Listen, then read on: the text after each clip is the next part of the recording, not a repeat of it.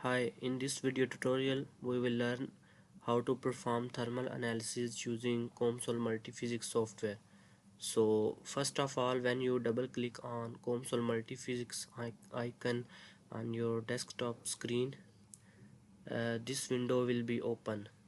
The next step is to click on model wizard then click on 3D because we are uh, we are now performing the thermal analysis. So uh, in the physics section uh, you will see different types of physics. In the heat transfer option uh, you can see heat transfer in solids heat transfer in fluids heat transfer in solids and fluids. Uh, in this tutorial I am going to be perform the thermal analysis on a solid aluminium cylinder. So I will click on the heat transfer in solid physics. After selecting the heat transfer in solid uh, you have to click on the add.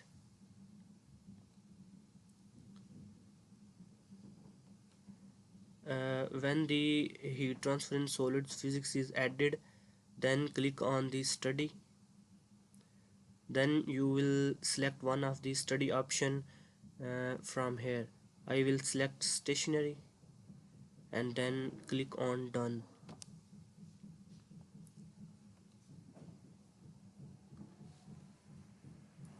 So here is the main screen of the COMSOL multiphysics software.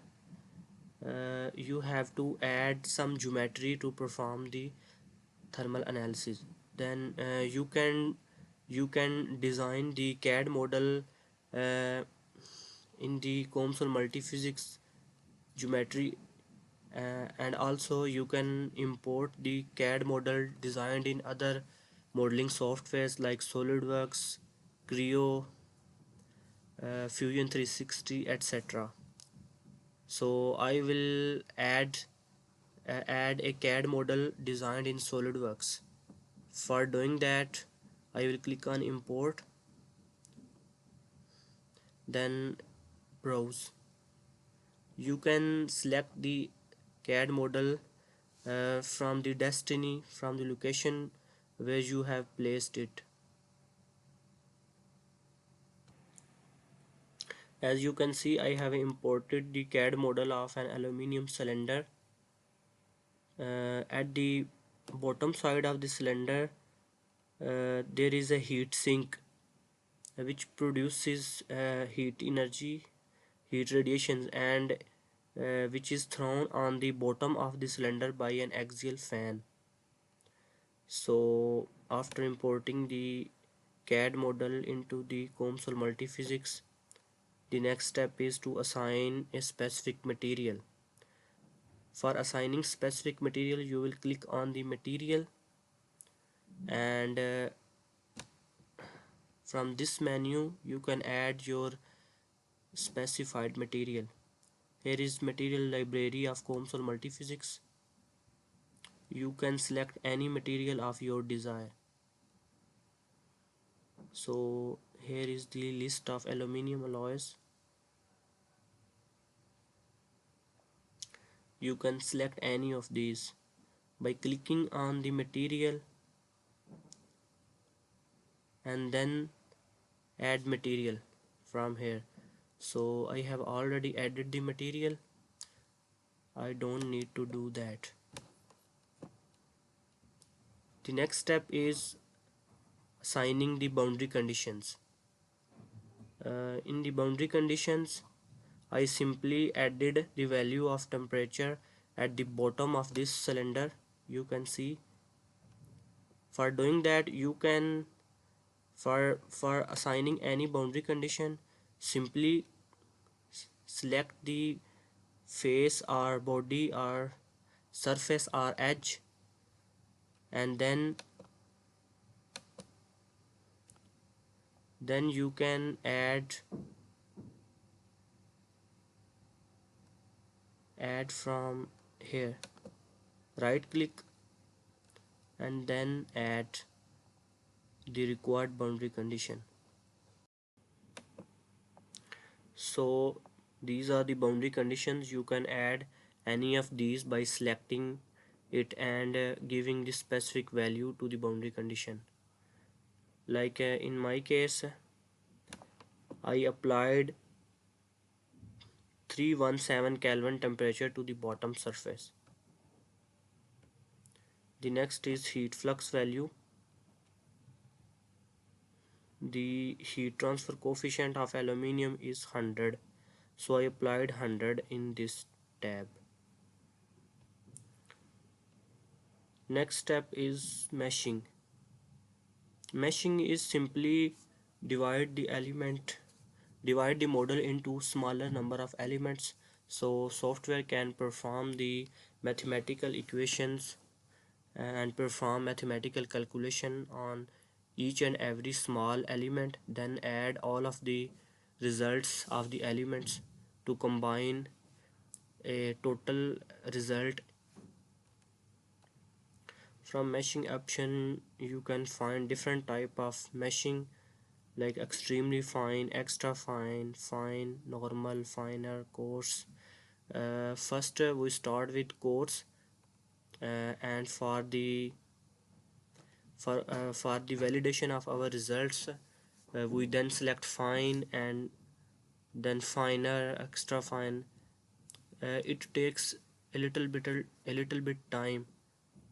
The faster the speed of your laptop or PC the sooner the meshing process will be completed.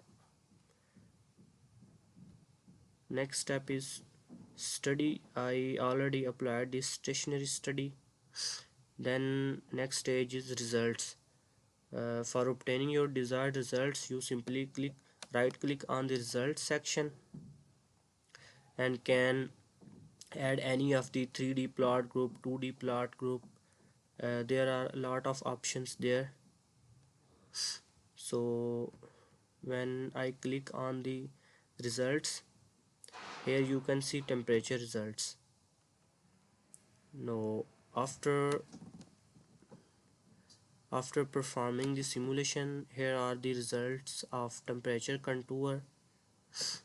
And this is the temperature contour and this is the conductive heat flux magnitude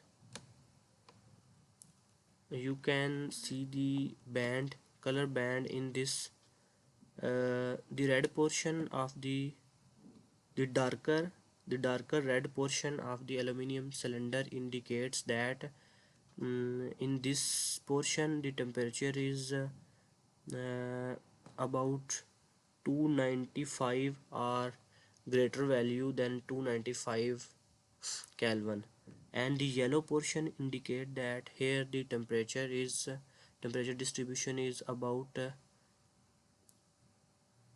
3 here this portion is about uh, uh, 308 or 307 Kelvin. Uh, and if there is a white uh, white yellow white portion in the cylinder this indicate that here the results of temperature are 317 Kelvin.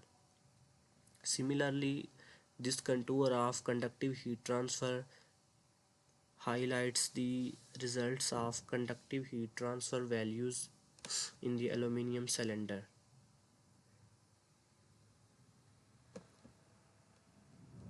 The next step I have also calculated the isothermal contour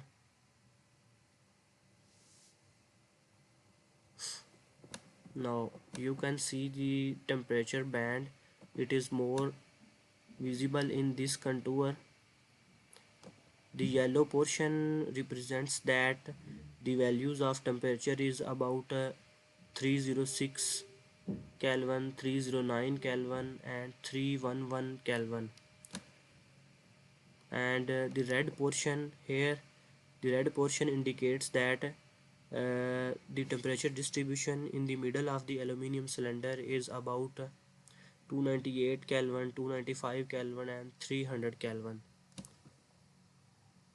So in this way you can perform the thermal analysis of a solid body in COMSOL multiphysics. Uh, like and subscribe my channel for more upcoming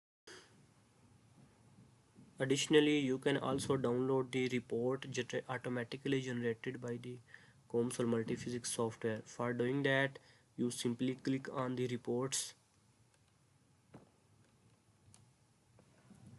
You can also download the report by clicking on the results icon, then reports and a brief report or intermediate report complete report. I will click on the complete report. Now I can click on the generate.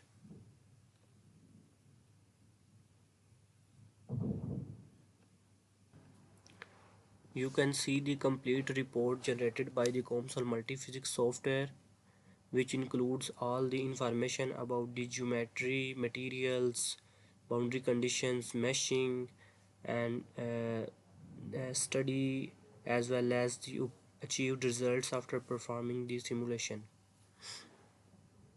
From the report uh, you can know about the fundamental equations that are running uh, on the back end of this simulation software. So in this way you can generate a report using COMSOL multiphysics software. You can add the graphs tables and fundamental equations in your research papers and in your technical reports for presenting into your professors or in any conferences or research journals.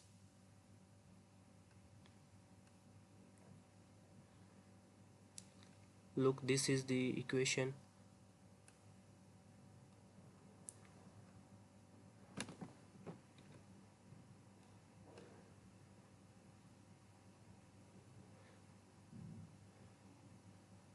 At the end you will find the contours of temperature, heat flux and iso isothermal contour. So that's all from my side.